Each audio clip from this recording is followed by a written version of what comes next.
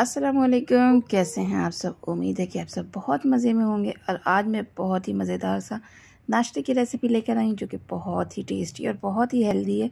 आप लोग ज़रूर ट्राई करना। और वेट लूज़ के लिए भी ये रेसिपी काफ़ी मज़ेदार है। और इसे वेट भी बहुत ही अच्छे से लूज़ होता है और पेट भी भरा भरा रहता है। तो भूख भी नहीं लगती तो यहाँ पर मैं चने को भिगो रही हूँ और ये चना काफ़ी काफ़ी महीने से मेरे पास था तो इसलिए इसके अंदर मैं नीम की पत्ती ऐड करके रखी थी, रमज़ान में ही आया था। तब से ही था तो नीम की पत्ती ऐड करके रखेंगे तो चना ख़राब नहीं होगा। इसको साफ़ करने के बाद मैं इसके अंदर पानी ऐड कर दी हूँ और इसको सात से आठ घंटे के लिए भिगा दें। उसके बाद इसके अंदर अच्छे से वॉश करके, नमक ऐड करके इसको मैं बॉईल कर लूँगी। और यहाँ पर मैं अंडा भी इसमें ऐड करने वाली हूँ तो इसलिए अंडे को बॉईल करने के लिए सबसे पहले उसको वॉश करिए उसको छोटे पतीले या छोटे बर्तन में रखिए और उसको फुल पानी रखिए। तो इस तरह बहुत ही परफेक्ट अंडा बॉयल हो और उसके बाद एक मिनट तक वो अच्छे से उसको पकाइए जब वो बिल्कुल अच्छे से पकने लगे तो फ्लेम को ऑफ़ करके दो से तीन मिनट उसी पानी में, गर्म पानी में ढक कर छोड़ दें। तो इस तरह हम प्रॉपर अंडा बहुत ही अच्छे सा बॉयल हो जाएगा। अगर आपको हाफ़ चाहिए तो आप जल्दी ही पानी से निकाल दें अंडे को। तो यहाँ पर मैं एक फ्राई पैन के अंदर दो से तीन टेबल स्पून के करीब थोड़ा सा ऑयल ऐड कर दीजिए अपनी ज़रूरत के हिसाब से। मुझे ज़्यादा ऑयल नहीं ऐड करना था। तो आज मैं थोड़ा सा ये वेजिटेबल्स को हल्के सौते करके मैं यूज़ करना चाह रही थी। तो इसमें मुझे प्याज और कैबेज और थोड़ी सी ग्रीन चिली को ऐड करके सॉफ्ट करूँगी। मैं ज़्यादा इसको ब्राउन नहीं करूँगी और इसके अंदर फिर वही बॉयल चना मैं ऐड कर दूँगी। तो चार से पाँच मिनट में इसको इस तरह सॉफ्ट कर लूँगी। थोड़ा सा आज मेरा मूड है कि प्याज और कैबेज थोड़ा सॉफ्ट रहे तो इसलिए मैं थोड़ा सा इसको चेंज कर रही हूँ। और उसके बाद इसको चार से पाँच मिनट ऐसे ही भूनूँगी। सॉल्ट इसके अंदर ऐड कर दीजिए।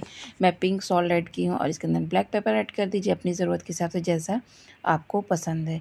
उसके बाद इसको थोड़ी देर मैं ऐसे ही भून लूँगी। यहाँ पर मिक्स कर लूँगी। जब अच्छे से कैबेज और ऑनियन अच्छे से सॉफ्ट हो जाएगी, यहाँ पर देख लीजिए डन हो चुकी है। तो यहाँ पर अंडा भी डन हो चुका है तो अंडे को मैं छील लेती हूँ तो इसको छील लेते हैं। और उसके बाद इसको कट कर लेंगे। और इसके अंदर अगर आप सॉल्ट वगैरह लगाना चाहें तो लगा सकती हैं।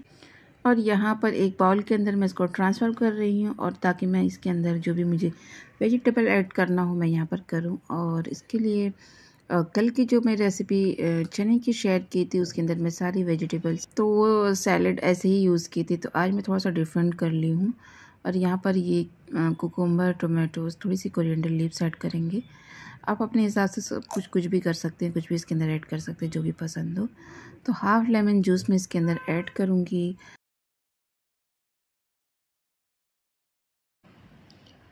तो यहाँ पर हाफ़ लेमन जूस मैं ऐड कर रही हूँ और इसको अच्छे से मिक्स करेंगे।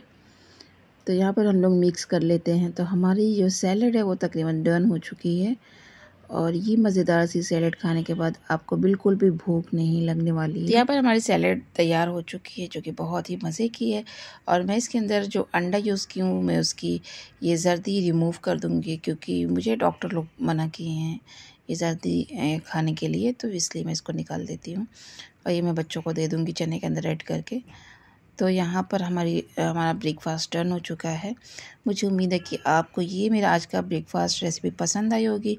इंशाल्लाह कल जो मैं यूज़ करूँगी, जो मैं खाऊँगी, मैं उसकी रेसिपी आप लोग से शेयर करूँगी। मेरे चैनल पे आपको इसी टाइप की रेसिपीज़ मिलती रहेगी। और अगर आप मेरे चैनल पर नए हैं तो प्लीज़ सब्सक्राइब कर लीजिए।